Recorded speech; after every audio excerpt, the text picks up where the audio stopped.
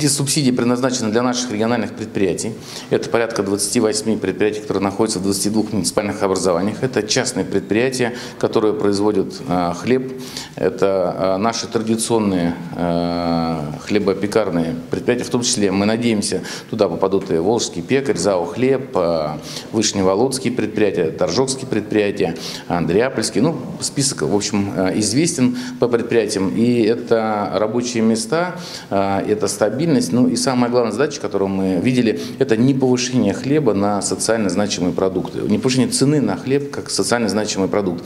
Потому что сегодня мы понимаем, что э, есть несколько направлений. Первое – это развитие рынка. А второе направление все-таки мы считаем, что принимать участие в формировании цены на социально значимые продукты государству просто необходимо.